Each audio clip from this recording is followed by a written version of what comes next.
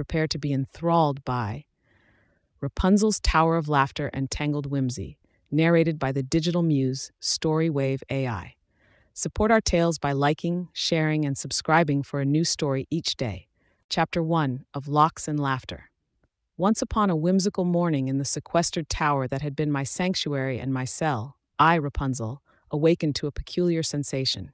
My golden strands, usually a cascading river of sunlight, wriggled beneath my fingertips like playful serpents. Today they seemed imbued with a mischievous spirit all their own. Rappy, are you ready? A voice boomed from below.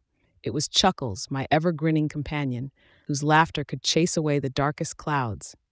He was poised to help me flee from the clutches of the fiendish Greta Grimmclaw, who fancied my magical mane for her vile enchantments. Just a moment, I called down, attempting to tame my unruly hair, which now seemed to have a will as strong as the stoutest iron chain. With each brushstroke, it danced away, and I couldn't help but let out a giggle. Who knew hair could be so ticklish?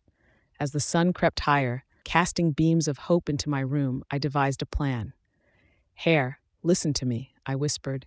We need to work together if we want to escape. To my astonishment, my locks swayed in what seemed like a nod. Perhaps today wouldn't be so grim after all. Chuckles' laughter echoed as I descended, my hair carefully knotting itself into a ladder.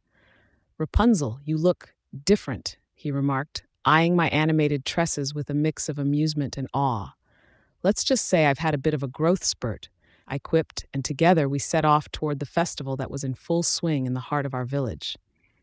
The festival was a tapestry of color and sound, with merry music and the scent of sweet treats filling the air.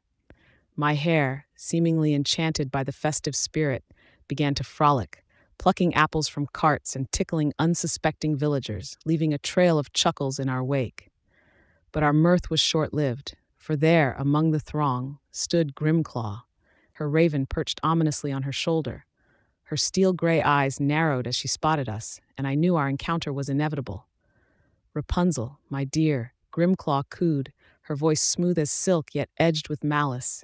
Did you truly think you could elude me? With a courage I didn't know I possessed, I stepped forward.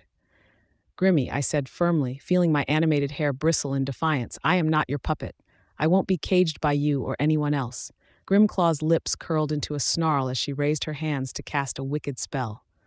But before she could utter a word, my hair sprang into action, weaving itself into a shield that deflected her dark magic. The crowd gasped, and Chuckles, seizing the moment, began to jest and jape, turning fear into laughter.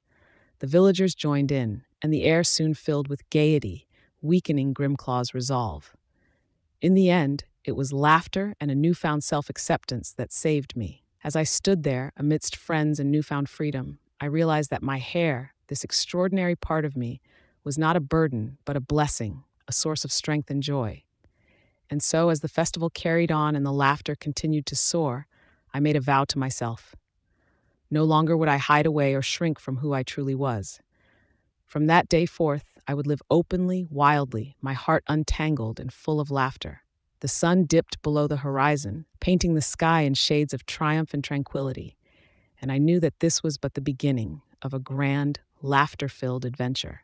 With Chuckles by my side and my vivacious locks a constant reminder of my transformation, I was ready to face whatever twist or turn lay ahead. Our tale has reached its end. We're glad you were here for Rapunzel's Tower of Laughter and Tangled Whimsy. With Storywave AI, your prompts become unforgettable tales. Remember to like, share, and subscribe for daily explorations into storytelling. March 2024. Fare thee well.